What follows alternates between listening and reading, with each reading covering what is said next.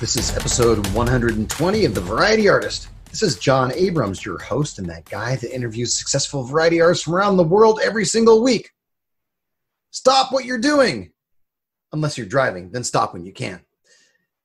If you haven't already seen the movie Being John Malkovich, stop what you're doing right now and sit down and watch it. Not only is it a spectacular and mind numbing movie, but the marionette sequences are mesmerizing. Watch that movie and you'll get an idea of the mastery of my guest today. Yes, that's his work. From a little three year old with a hand puppet to one of the best, most popular puppeteers in the world, today's guest is truly magical. Enjoy the show. Welcome to The Variety Artist, providing aspiring artists and entertainers with in depth discussions from top performers from all over the world. So get ready to book some gigs, make some money, and have some fun with your host, John Abrams. An internationally recognized artist with marionettes, my guest is most known for his work in the three time Academy Award nominated film Being John Malkovich. He's worked with Ellen DeGeneres, Donald O'Connor, Phyllis Diller, just to name a few. He's performed in France, Brazil, Israel, and so many more. Truly art and entertainment. Variety artist, I give you Phillip Huber. Hello, John. Good to be with you. How's it going, Phillip? Very good, thanks. good. Well, let's start right off. How did you get involved in this? What was your first puppet, or how did that come about? Uh, I had my first puppet when I was three years old. My mother gave me this little dog hand puppet. And, uh, she noticed I was very shy, and I think that may have been the reason that she gave it to me. But anyway, it sure helped me because uh, I used my imagination with that hand puppet and, and would do little shows for people when they would come into the living room. I'd hide behind the sofa and the dog would pop up from behind the uh, sofa anyway and, and start performing, start barking and running around. How old are you? That was the beginning of it. Three years old. And of course, people noticed that. So by the age of seven, they had been giving me puppets. And I had a little cardboard stage and I started performing shows and about seven years old. Uh, when I was 11, and I wanted something a little bit more sophisticated than the hand puppets, and I moved into the marionettes. Now, I had a marionette when I was five years old, but it was constantly tangled. So it wasn't until I was about 11 that I could really handle a marionette. Then I started doing shows with that. By the age of 15, I had decided that I was going to make this my profession. And so everything that I studied or did from that point on was to further my career as a professional puppeteer. At 15? Yes, at 15. That's when I started really making my own marionettes, constructing them, carving out of wood, things like that. And then I was doing shows regularly for all sorts of uh, social groups in the uh, small town where I grew up, which was Dixon, Illinois. Mm-hmm. So I would be invited to do the Lions Club, the Boy Scouts of America, and stuff like that. Any groups that wanted uh, performance, mother daughter banquets, things like that. And that was the beginning of my career. Wow. So you're still a teenager when you're performing these shows? Yes. And then what propelled you from doing uh, Boy Scouts, Cub Scouts, those types of things, um, libraries, whatever, to being the international star that you are? Well, that that took a bit of time. Of course, uh, uh, my mother, when I was leaving for college, she said, "Be sure and study something that you can earn a living with," because she didn't really trust that puppetry would do it for me. But anyway, I was a theater major, but I double majored as an education major also, mm. thinking that I could teach possibly if I didn't find a job. But within a week after I had graduated from college with a theater degree, I had an offer from a puppeteer in California, Tony Urbano. Mm-hmm. And he is the only one I had applied to work with. I had sent him a video of my variety show of marionettes. And he hired me basically sight unseen, sent me a plane ticket, and I flew out to California. And that was what I consider the beginning of my advanced degree in marionette performance. And I worked for Tony Urbano for eight years and did a lot of television work with him. He was doing a, a syndicated show called Dusty's Treehouse. Oh yeah. He did television commercials right and left for all sorts of big products, including McDonald's and, and Seven Up and When your mom found out that you were doing TV and and becoming a success, what was her idea? What was her, what were her thoughts? Well, she was pleasantly surprised. I know she was she was relieved that I had actually found something that I could support myself with. Of course, I was earning pretty much a minimum wage while I was working for Tony, but the experience was incredible, of course, because I got television experience and live theater experience with him. He did some concert shows that we did at, at the Dorothy Chandler Pavilion oh, yeah. in Los Angeles. So I was working on that stage. Then I went up to Canada uh, with his show and did shows up there for, in a place that was called uh, Ontario Place, uh, just outside of Toronto. And later I worked in theme parks. At one time there was uh, Busch Gardens had a theme park in California, and I was doing shows there for Tony, and that was doing between six and eight shows a day, seven days a week, and they were 20 minute shows, one man shows.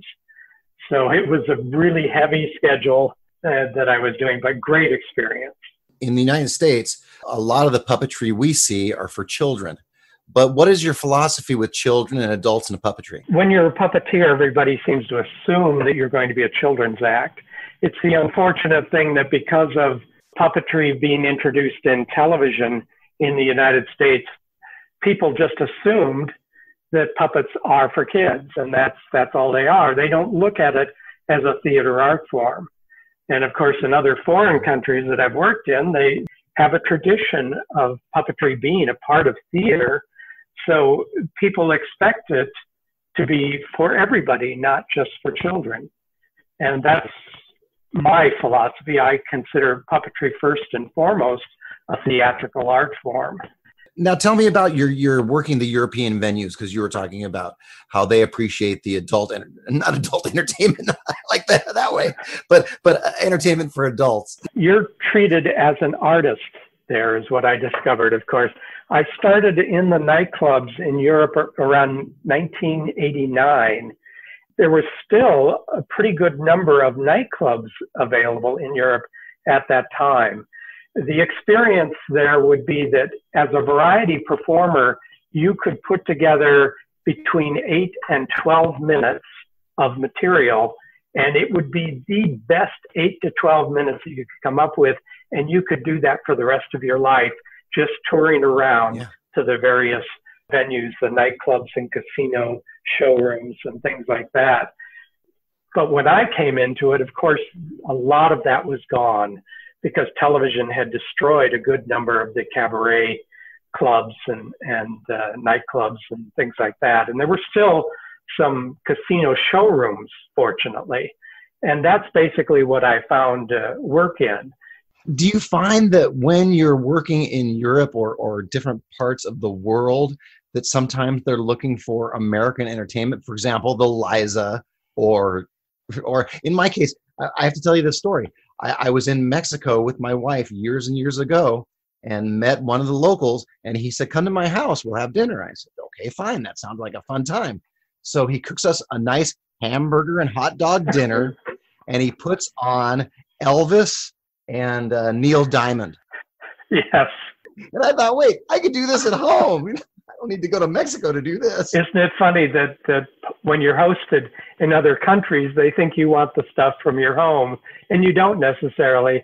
I've done uh, eight, I think, eight tours in Japan at various times. Mm-hmm.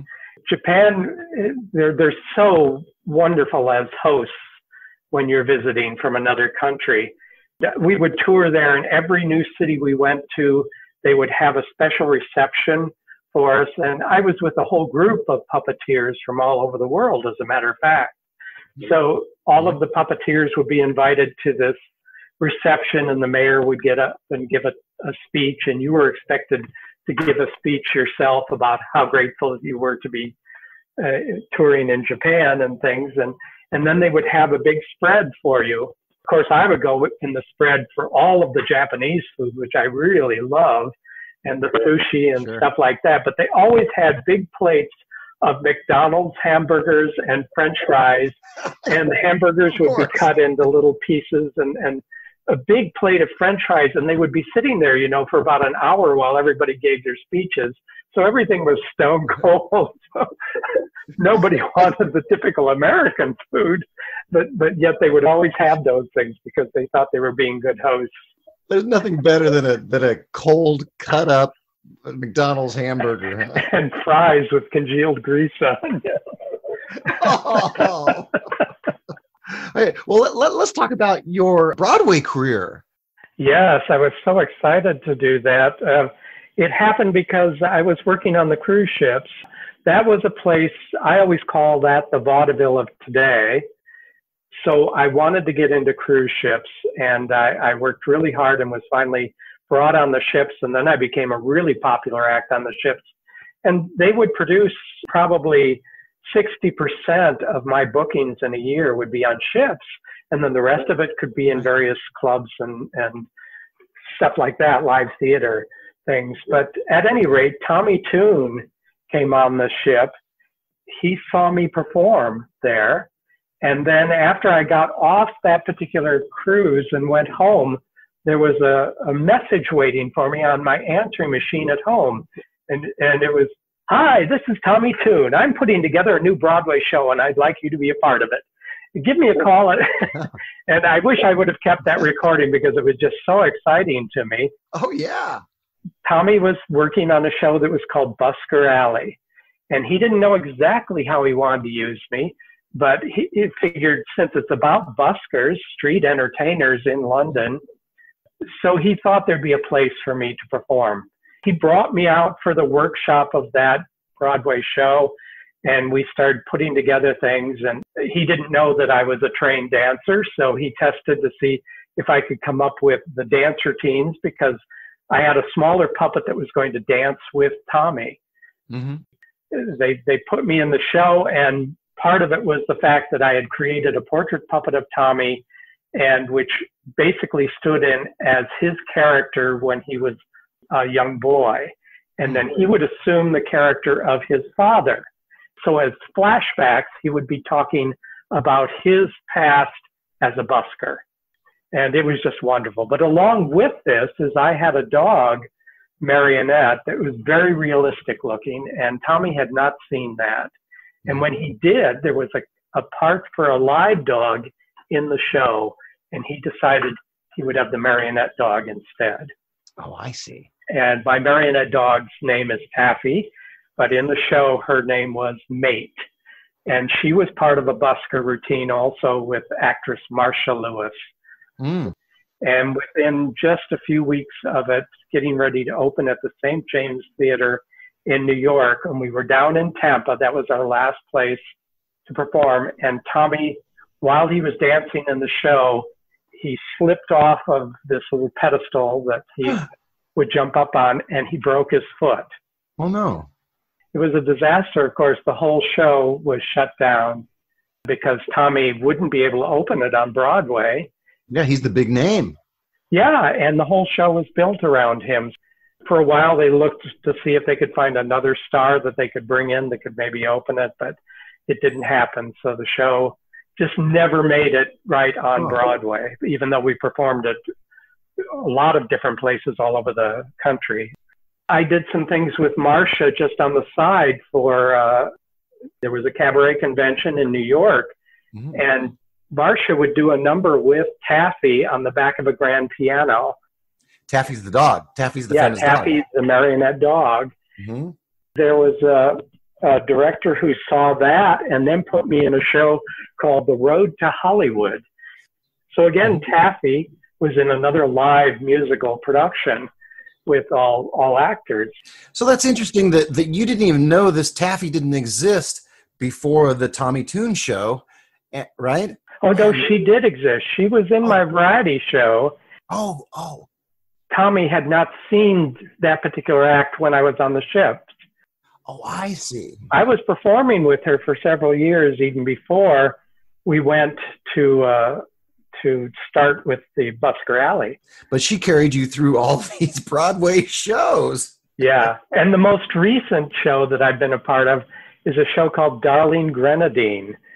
This is a wonderful new show. And it, so I've had quite a bit of experience with the live theater with marionettes being plugged in. Let's talk about your movie career. What was the first movie that you did?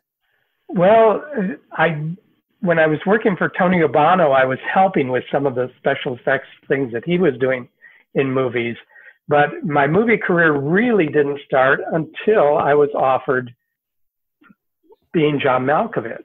Oh yeah, one of my favorite movies, by the way. Oh, thank you.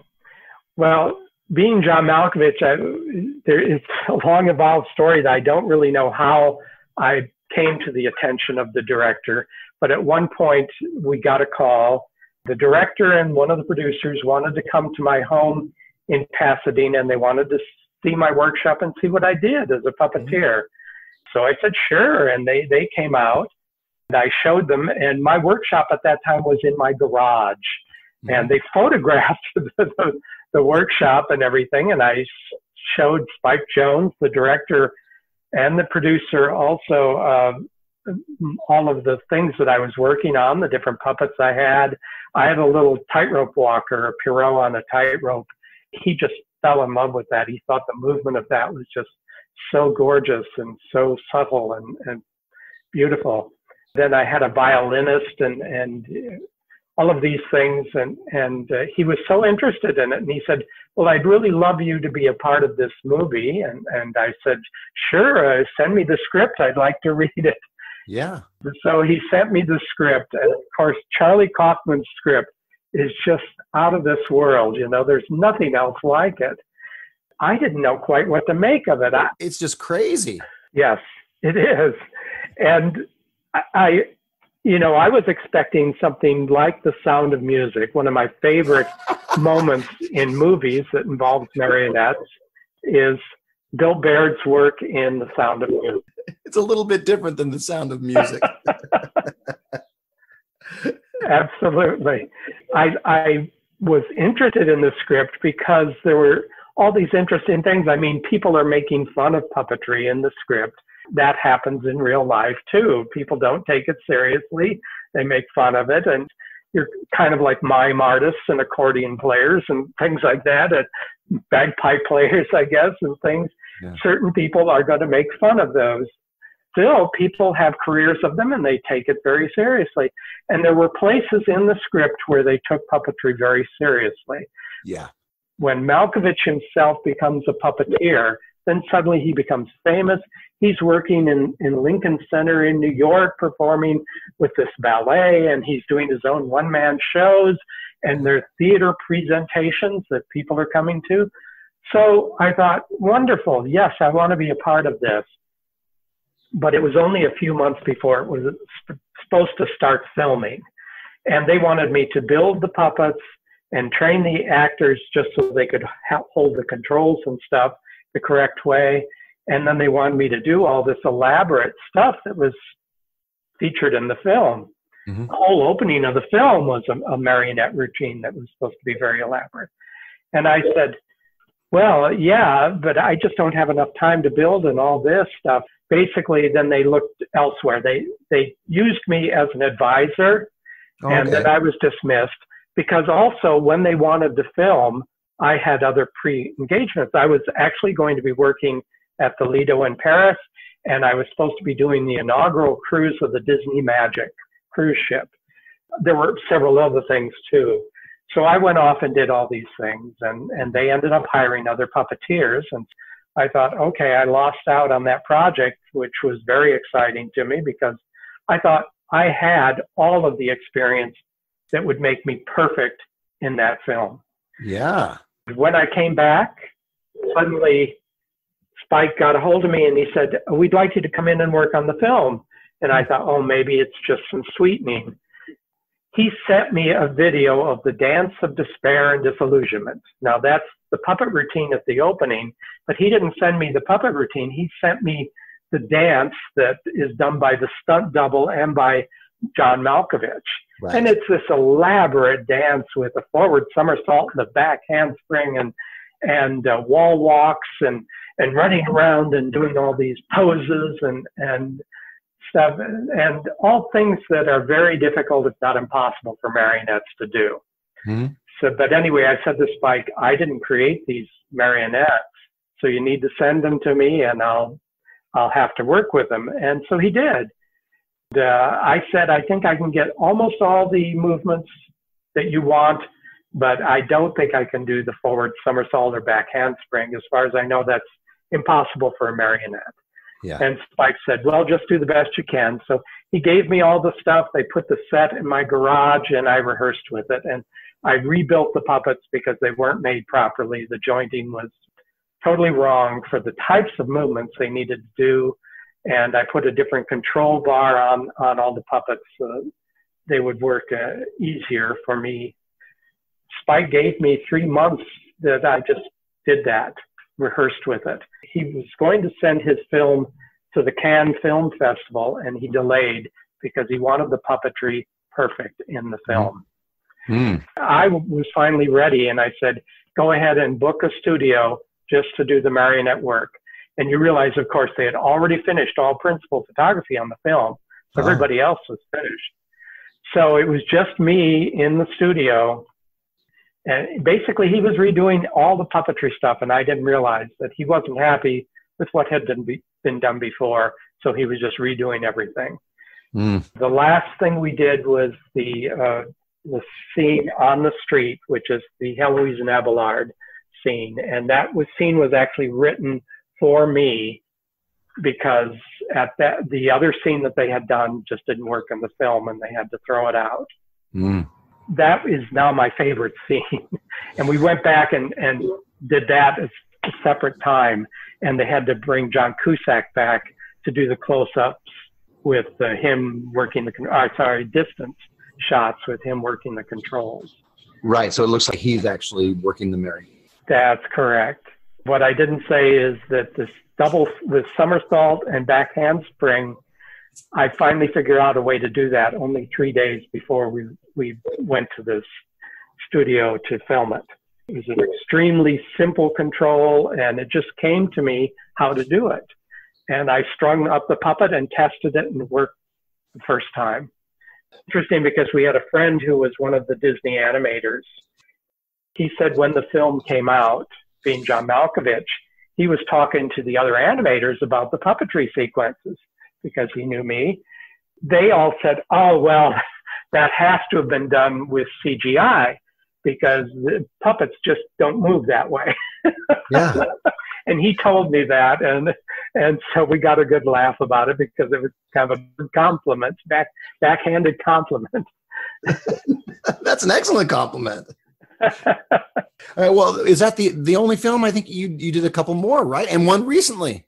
Oh yes. Well, then, yeah, I've done two other major films, or well, one of them was was actually a minor film. It never made it in the theaters, as it was only released on video, but it was called The Legend of Tillamook's Gold. And mm-hmm. the director on that had seen Malkovich, and she got in touch with me and she said, I know we won't be able to afford you, but we would just love to have you work on this film. Well, we, we struck a special deal with them, and I built puppets that were portraits of all of their actors in that film. And there was a whole little marionette sequence in there where they intercut between live actors doing the scenes and puppets doing the mm. scene, the marionettes doing the scene. But then the director of Oz the Great and Powerful, the Disney film, ah. Sam Raimi, he wanted to figure out a way that one of his characters in that film could be done on set with the actors, even though she was going to be a CG character. And she was called the China Girl, and she was only 18 inches tall. And he said, How can I do her on set? the guy in charge of animation for him, his name was Troy Saliba, he had seen being John Malkovich, and he said, "Well, watch this film, and I think we can bring in the marionette guy, and he could do it." So Sam did, and then they brought me out for a screen test. And fortunately, I had a little marionette girl that was 18 inches tall. Oh. So they gave me a, a day and a half to prepare. Uh, they sent me a pre-record of a couple of scenes. And I went out there, flew out there and did screen test and Sam hired me on the spot. He was so impressed with what I did. Then I spent five months basically up in Michigan at the studios. And that again was another glorious experience working with these uh, other actors with James Franco and Michelle Williams and Mila Kunis. Oh yeah. What a wonderful time. And and Sam kept saying to me, are, are you bored yet? And I said, How could I possibly be bored? This is the most incredible thing I've ever been able to watch. A $210 million film, and you're watching all of these special effects being created and, and uh, beautiful sets that were built. Uh, I mean, I felt like I was in the heyday of Hollywood, where you'd walk on these sets that were just unbelievable. Dream come true for you, huh? It, it was positively a dream come true. Sam told me after I'd only worked a week on it, he said, I've fallen in love with this character. China Girl had become so alive to him. And so then his instructions to all the animators who are going to be putting a CG character on top, he said, You have to follow the performance that Phillip is giving. And he said, If you have to add anything new, it has to be added as if Phillip was pulling a string to create that to happen. Mm. they did follow the performance that I, I created with China Girl. Have you found that that working on these different movie projects have boosted your career like it needs boosting, but has it boosted your career? Absolutely, because I do so many uh, well places. I do a lot of festivals, and some of them are puppet festivals. So some are not necessarily puppet festivals. Some are theater festivals or other different themed things, and all over the world. And the biggest draw for them is the fact that I did Being John Malkovich, because Being okay. John Malkovich was actually popular all over the world. When I was working on the cruise ships uh, around the time that I had finished that film, I went to Dubrovnik and I got off the ship in Dubrovnik and look around and here's a huge poster for Being John Malkovich right in front of me. so I, I realized then that, that my work went out to the world through that film. Yeah. Uh, and Oz to a certain degree as well. We as entertainers, you know, we we perform live to 100 people, 200 people, 300 people, 400 people. But you do one movie and everybody around the world knows you in front of millions of people, right? Yes. That's it. And and I think, you know, as a variety artist, which I principally am, that is the way sometimes that you can you can have your work be exposed. But of course, now the internet does that to a certain degree as well, because if That's you have true. film clips on the on the internet, then then more and more people are aware of what you do. Uh. The bad thing is that sometimes as variety artists, we can spend years developing one act and getting something just perfect, and then you don't want to just have it filmed and put on the internet because it doesn't mean as much I think when you go live and perform, and, and a lot of our pieces are created to be seen live. That's the thing. There's nothing like my act being seen live. Stuff I do for film has been created specifically for film. But when my show appears live in a theater, it's a total different experience than if I put it on YouTube. Yeah, I think that's with almost any entertainer. As a magician, I can make a, a doves appear uh, magically in front of live. It's amazing on TV or on internet. It's okay. Yeah, well, because also people might even say, "Oh, well, that was just trick photography." but when they see it live, they're going, "Wait a minute, what happened?" yeah, and then they experience it emotionally too. They're not sitting back on their couch having a beer, you know. And people around them experiencing it mo- emotionally because you are affected by the audience you're sitting in. You know, every audience is unique, has its own personality. So when you when you lose those things for variety artists, that's that's a lot. Yeah, it is. That that that seems to be the big, huge difference between live theater, yeah, and online theater, which is very popular right now. Yes. Now you sent me a few things. I'm gonna I'm gonna give some uh, some little bits of information that people may not know about you. Okay. now here's something. Being John Malkovich is one of my favorite movies, as you know, as I've said. Here's a little bit of information for uh, my listeners here. Phillip appeared as an extra in Being John Malkovich, watching the same puppet show he performed in the film. Is that right? That's correct. uh, Spike Jonze loved to do little inside jokes in the film. So there are places in the film where he he would have uh, different people perform, or else they would uh, they their name would appear. Like if there was a whole list of somebody in a in an apartment building, uh, some of them might be some of the producers that were in the film. Oh. And so Spike wanted to put me in the film. He wanted me to do a, a type of Hitchcock vignette in the film. So uh, he put me in as an extra on the street scene, which of course I said they had to shoot after everything else. And so while Cusack was holding the puppets and pretending to to perform on the street, I was one of the extras that was going to walk by, and he wanted me to kind of stop and react to the puppet show and go on and stuff, which I do. I mean, you'll miss me if you blink. I get to do that, so that was that little fun thing that I I'm watching the puppet show that I actually perform in the film. That's wild. All right, here's another one that maybe my listeners don't know. Phillip was bumped from the Tonight Show to make time for uh, an appearance of a huge boa constrictor found in a crawl space of a Florida home. is yes, that right? That is true. it's true. I I was seen at the Magic Castle by the talent coordinator of the Tonight Show, Jim McCawley, and he was the one who discovered so many famous comedians. I mean, any list of major comedians that you can think of in the 90s, he was the guy who discovered them and brought them on the Tonight Show.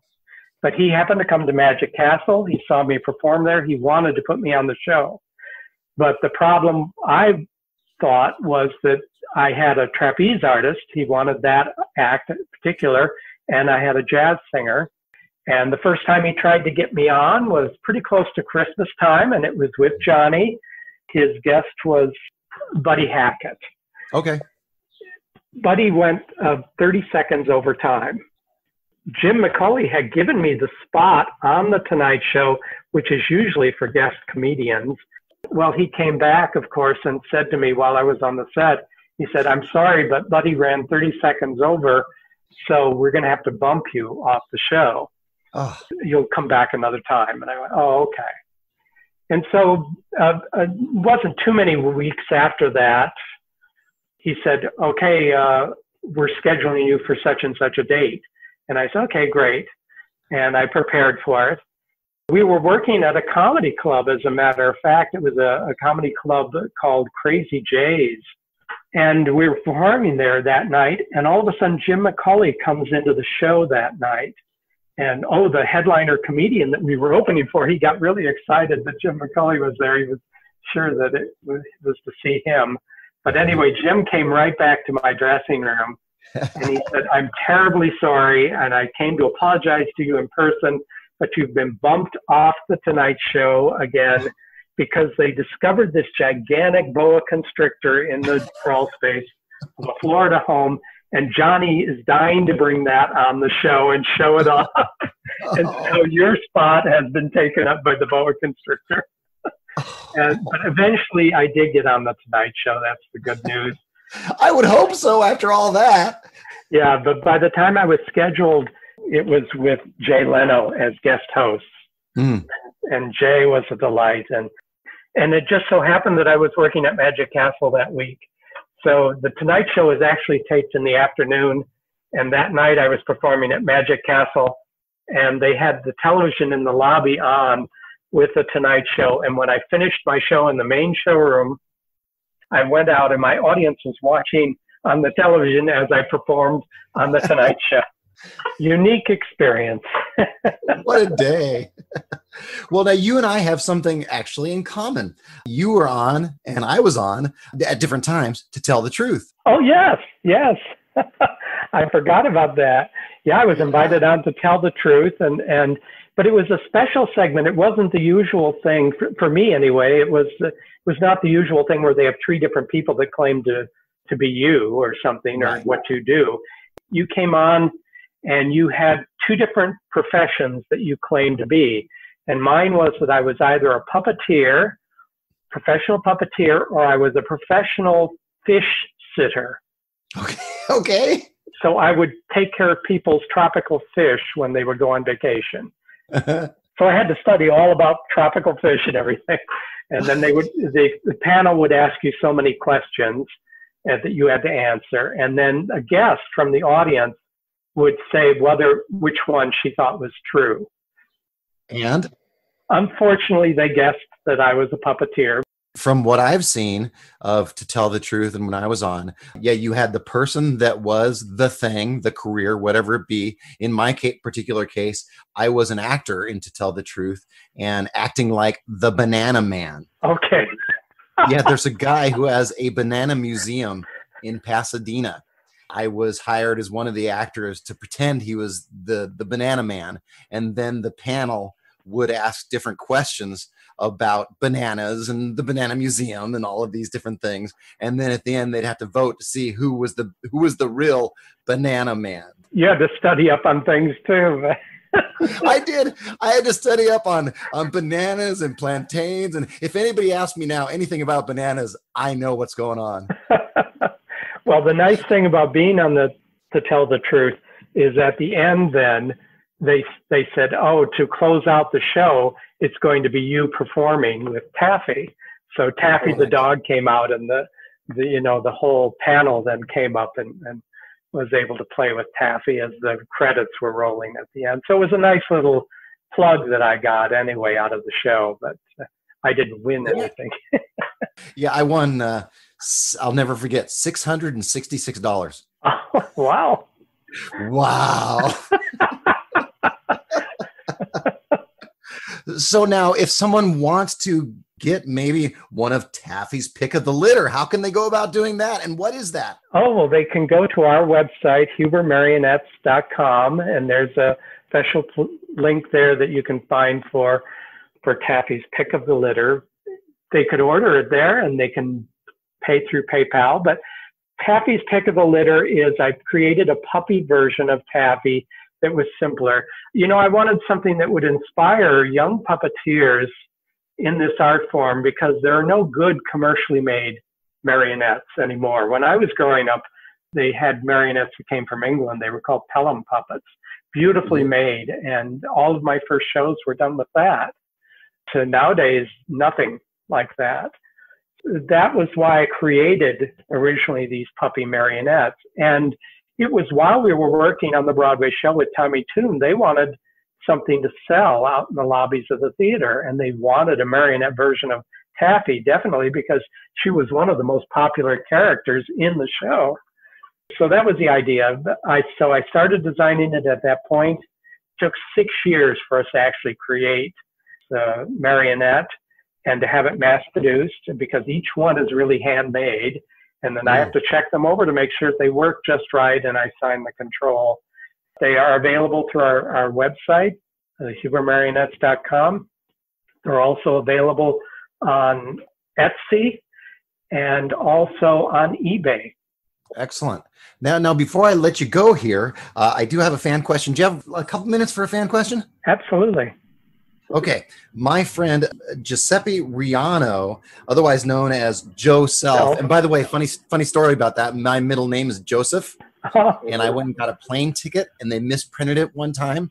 So instead of John Abram, John Joseph Abrams, it said John Joseph Abrams. no, which, which, is his name. so I took a picture of it and I, I emailed it to him. All right. So he asks, or he says, Phillip is a fantastic, amazingly talented performer. My question for him is Are you doing any virtual shows due to COVID? And if so, what, if anything, are you doing differently? I'm not doing virtual shows. I, I would have loved to have been able to do that. But uh, like I said, the, the effect isn't the same. So, in a way, it, I'm not too happy about it. But the other reason I'm not doing it is because I don't have the right equipment here. I don't have a really good camera. I don't have really good lighting in my, my workshop. And so I can't present it the way I would want to present it. Mm-hmm. Without an audience reaction, I think it, it hurt a lot as well. So I don't sure. do performances, but I do everything else that I possibly can uh, with these interviews are, are one way that I, I keep things alive for this art form. And the other is that I'm actually doing video uh, workshops Oh. And I've done a workshop on marionette manipulation, and it was called a primer on marionette manipulation. And it was done through the auspices of Handmade Puppet Dreams, which is an organization, a company that Heather Henson, uh, Jim Henson's daughter, created. Yeah. What she is producing is short films that have puppets in them. And one of the short films that was produced through her is called Cosmic Fling. And I happen to be the performer in that film of, of one of the marionettes. Oh, nice. They wanted me to do something as a behind the scenes type of thing. So I created this workshop for that. And then it was so popular, they asked me if I wouldn't do another one. So I'm working right now on a second marionette manipulation workshop, and this one I call Marionette Manipulation Step 2. And it will probably come out in September sometime, uh, maybe the first week of September. If anybody's interested in that, they should check out the Facebook page for Handmade Puppet Dreams. Handmade Puppet Dreams. And what I might do is I might just put that link on your show notes page too, so someone can go right to it. Okay. And what what what is the date on that? Did you say uh, September? Yeah, we don't have a date yet for it because I'm I'm still working on it. Uh, my partner David is editing it right now, and it, it's going to take a while that will probably air maybe the first week in September. Well, before I let you go, I'm going to leave you with one word that someone said when I when I put on my Facebook page that you can ask questions of Phillip Huber. Uh, my friend Craig Diamond, who I'm sure you know. Yes, uh, very well. He's the magician that's been doing cruise ships longer than anyone on the planet. Says one word: wonderful. Oh, great. That's it. Do you have any uh, social media or anything you want to promote before I let you go? Okay, I'm on Instagram, Huber Puppet, and I'm Hub Puppet on Twitter, and Facebook, I'm Phillip.Huber1. All right. Well, thank you, Phillip, for doing my show. That was that was a joy, a joy and a pleasure. Thank you. It was a I was great fun talking with you too, John and I'm always happy to talk about what I do. I love it. so, oh, if people do want to see little bits of my work, they can check me out on YouTube. I have several okay. videos of, of the short acts. And where would they just just look up uh, Huber marionettes, or what do they do? Yeah, they can look up Huber marionettes, or they can look up Phillip Huber. Phillip's filled with two L's. Excellent. All right, and thanks to all my variety artists. Tell all your friends about the Variety Artist Podcast. Now go out and book those gigs, make some money, and have some fun. That's all for this episode of The Variety Artist, but your journey continues on our website. Go to thevarietyartist.com for more strategies, insight, and resources, as well as show notes on today's guest to assist you in your career. We'll see you on the next episode of The Variety Artist. But until then, go out and book those gigs, make some money, and have some fun.